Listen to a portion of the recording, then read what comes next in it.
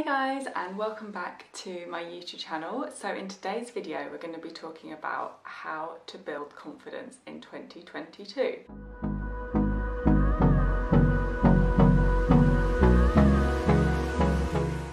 So if this is the year that you want to start working on yourself, you want to build your self-esteem, your confidence in all areas of your life, then watch this video and follow the tips. You can implement these tips from today and let me know how you get on in the comments, what you think of these tips. If you've got any other extra tips to share, put them in the comments and help other people as well. Um, and also if you are new to my channel, then don't forget to click the subscribe button just below the video. And obviously if you enjoy it, do give the video a like. We're gonna get straight into the video and start talking about my top tips for 2022 and how to build confidence. As some of you guys may know from my previous videos, um, or if you haven't seen it and you're new here, I am nearly qualified as a life coach, which is really, really exciting. So I want to help you guys with your mental health and work on yourselves, as well as obviously my fitness and nutrition as well, because I'm also a fitness and nutrition coach, but I want to help you build your confidence in yourself other than just you know working on your diet and your body. It's really really important to build that mental health as well as obviously looking after yourself in a healthy way. So these tips i follow myself um, i find them really really useful. I have put little um, a timestamp in the comments below so you can click along for each um, you know tip that I've got in this video and also if you want to screenshot it as well and keep it on your phone um, but yeah I hope you guys enjoy it so the first tip we're going to be talking about is affirmations now the problem with affirmations is a lot of them don't work. Now you'll probably see in these advice books and um, you've probably seen on Instagram, and social media, people say, just say, I love you every day. Just say, I am beautiful. Just say, I'm a millionaire and it'll happen. Unfortunately, it actually doesn't work like that because what happens is because you're not actually believing that, you can't manifest it into your life, you can't actually make it happen because you're telling yourself, I'm a millionaire when you're living in, you know, a house with your parents, your brain just goes, that's not true, that's a load of rubbish, and it can't comprehend that fact. So what you need to do is have more realistic affirmations. So do have affirmations, but they need to be realistic. Don't go around saying, oh, you know, I'm really slim when you're actually overweight because your brain will go, well, you're not slim. That doesn't make logical sense. So what you could start saying, if it was to do with your body, is something like, I am healthy and I eat good food because that is something that you can actually implement and change from today. If you're overweight, you can't just automatically be slim. And if it's to do with making money and you're living with your parents at the moment, saying, walking around saying, I'm a millionaire, um, I make loads of money, is not going to happen because you're not currently doing that. So what you could say is, I attract things into my life that help me make money, or I am going to work really hard, or I am working really hard to build my future. Things like that are really, really important. So implementing that into your life is going to help you build more confidence and more belief in your future as well. So, and a really good example, because I'm not, you know, obviously I don't know if you guys are watching this wanting to build confidence in your image or just in your life, but I imagine that a lot of you are wanting to build confidence in your image.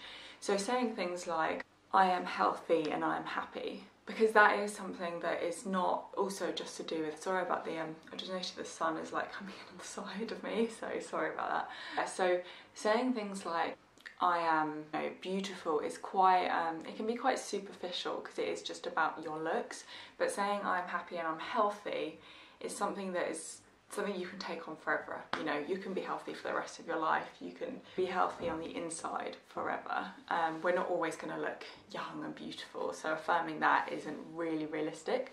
So basically, start implementing affirmations into your daily routine. Maybe when you're brushing your teeth, maybe when you're doing some cooking, but just make sure that they are realistic and not too far-fetched. And my next tip is to start liking things about yourself that aren't to do with your appearance. So what I want you to do is in your journal or on your phone is to start writing down things that people say about you that they really like that aren't to do with your appearance. So it might be, you're so organised or you're always on time for things, it's really nice. Or maybe someone says, you're such a reliable friend, you never let me down. Things like that. Write those things down and I want you to make a list of those and I want you to read them every morning and every evening. So it's, it's not actually that hard work. All you have to do is open your journal, write your affirmations, read this list of things that people like about you that aren't to do with your appearance. Maybe in your job at work, people say, You're so good at what you do at work, like you're really, really skilled in this area. Write that down. You know, these are things that people really, really like about you as a person. That is way more important than what you look like. Um, maybe you're a really generous person or you're really caring, and people think, say, You're so thoughtful, whatever your name is. Um, you're so thoughtful, Chloe, like it's, it's such a nice trait about you write that down because that is so much better than focusing on your appearance. And then, like I said, I want you to read those things when you wake up in the morning and before you go to bed. And my next tip to build confidence in 2022 is having some time away from social media. So, social media is great and it can be really, really inspirational and it can be really motivational, but it also can really, really dent your confidence. And that is not just in your looks, but also in your life because you see people who are doing really, really well in their business, earning loads of money. Maybe they've got a relationship like that you really want. Maybe they live in a house that you want. All these things that make you compare yourself to them because that's what we naturally do as humans. We compare ourselves. And then you think, well, I haven't got that. I'm not as good as that. And it just makes you feel shit about yourself. So stop going social media as much have a social media detox before you go to bed because you don't want to be filling your mind with that stuff before you go to sleep. Don't also go on it when you wake up in the morning. Get up, out of bed, brush your teeth, do some meditation, read a book. Do not go on social media first thing in the morning because it can really affect your confidence and how you feel for the rest of the day.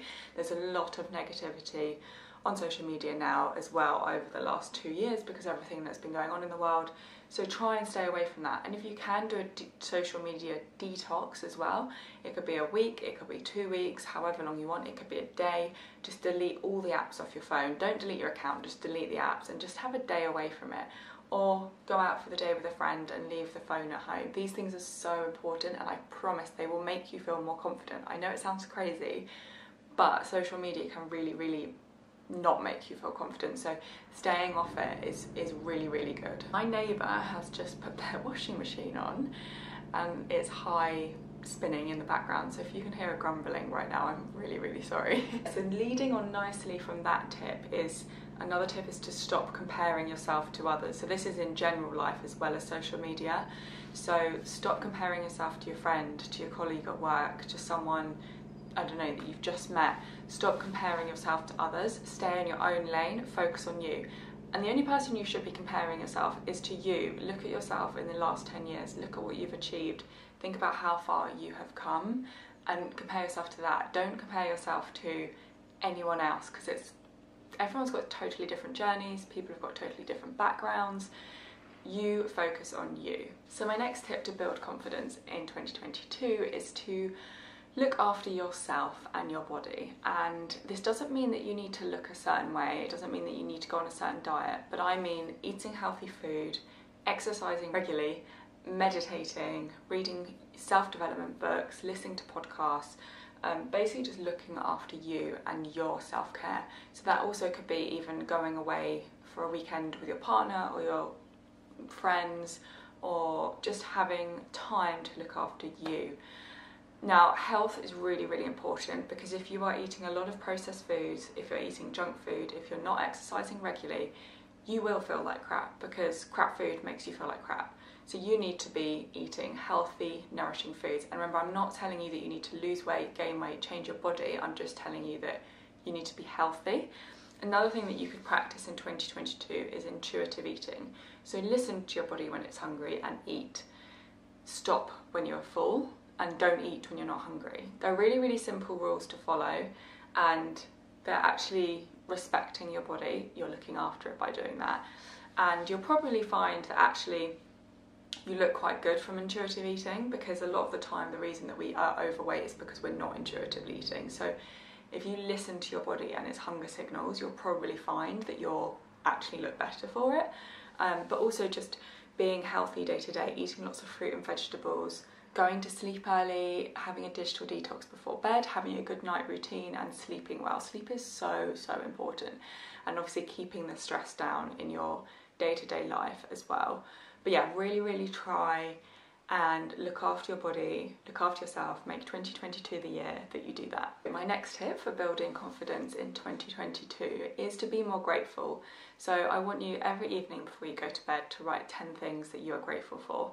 And you might think, oh, I don't know what to write, but there are so many things that you can be grateful for.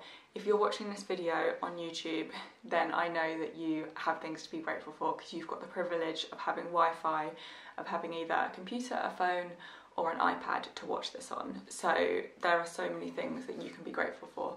I'll just give you an example of things that I write on my list. So I write things like I'm grateful for the money in my bank account, I'm grateful for my clients, I'm grateful for my flat, I'm grateful for my lovely bed, I'm grateful for the food that I've eaten today.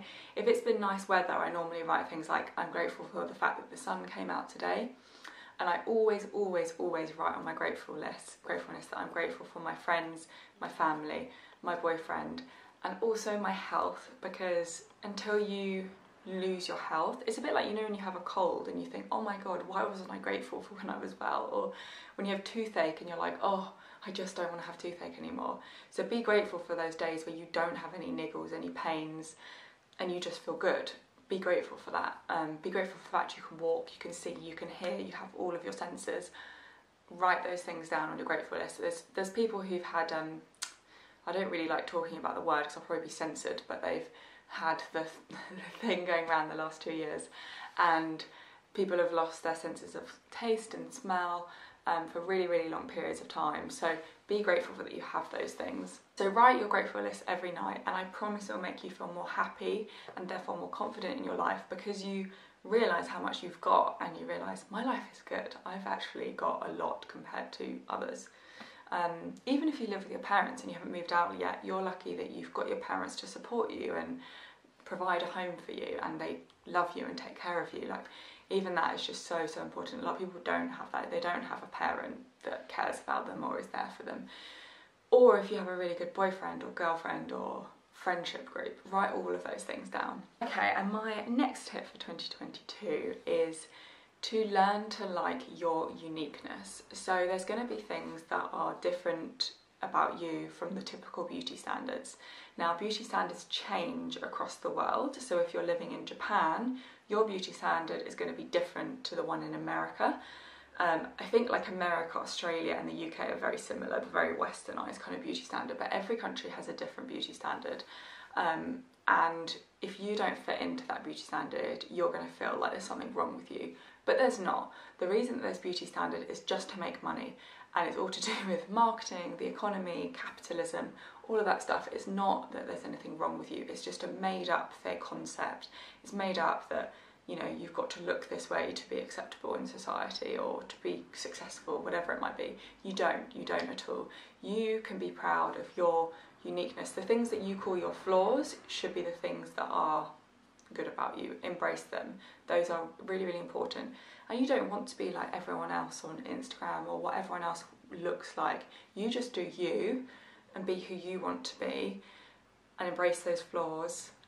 But don't call them flaws. You should call them good points about you. They're the things that make you unique, they're the things that make you special, and they're the reasons why your friends are friends with you, probably. So appreciate those unique aspects of yourself in your personality and your looks as well. Okay, my final tip for 2022 to build your confidence is to, so this is kind of in, all in one, is to basically read more self development books, listen to more self development podcasts, and either get yourself a coach or a therapist um, if you can afford to, of course. If you can't afford a therapist or a coach, definitely read more self development books and listen to more self development podcasts.